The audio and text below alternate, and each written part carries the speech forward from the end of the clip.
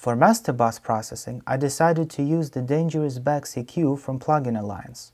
On the master, I have a low-pass filter set to 24 Hz and a high cut set at 28 kHz, as well as 1 dB boosts on 74 Hz shelf and a 7.1 kHz shelf. This makes the song feel taller as well as giving the track an extended low end and some more air in the highs. Let's listen to the track with and without the Master Bus EQ.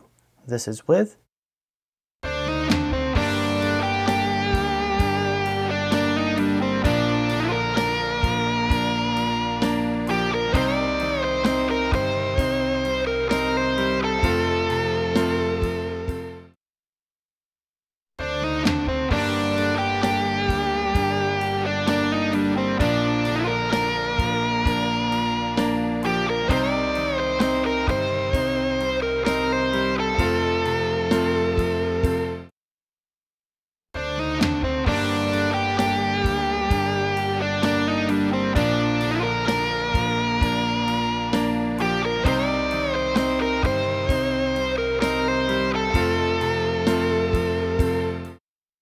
Notice how with the Bax EQ engaged, the track gains an open mid-range and feels taller.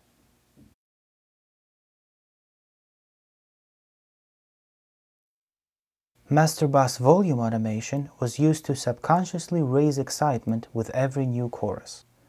As we can see, our base level is at 0 dB. The first chorus is raised by 0.3 decibels, going back to 0 dB for verse 2, chorus 2 is raised by 0.4 decibels, and the interlude goes back to 0 dB.